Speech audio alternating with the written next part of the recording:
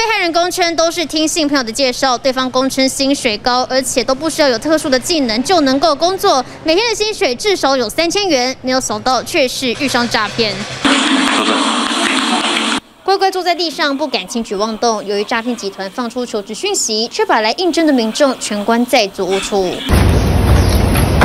这回救出五名被害人，有男有女，从二十岁到六十岁都有，五人都是国高中毕业，还以为总算找到工作。应征后更派车接送面试，没想到一上车就被限制行动。之前只是骗取他的提款卡跟啊存折啊，这次是因为怕他们把存折。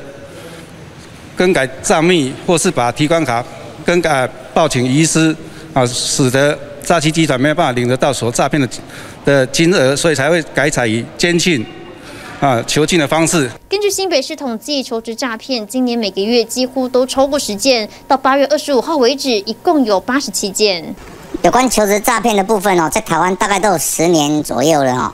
如果被害人的账户被人家拿走，而而被警方做警示以后，将来没有解除，将会造成他求职上的困难。知情人士透露，过往抽佣行情价几千到几百元都有。由于任务不同，如果有帮忙再送，有被抓的风险，酬劳可以拿更高。而诈骗集团大多只要被害人的账户当成洗钱工具，把钱领完或等对方账户被警示才肯放人，平均得关上两周才能够重获自由。